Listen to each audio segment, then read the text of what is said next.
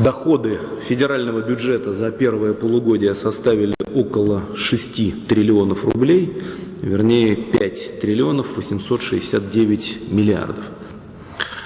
А, причем большая часть, почти две трети, это доходы, которые не связаны с продажей нефти и газа, 64%. Ну, понятно, здесь есть э, объективные условия, но есть и определенные последствия для нашей бюджетной системы, э, экономики в целом, которая уже значительно меньше, чем раньше, зависит от мировых цен на топливо и сырье.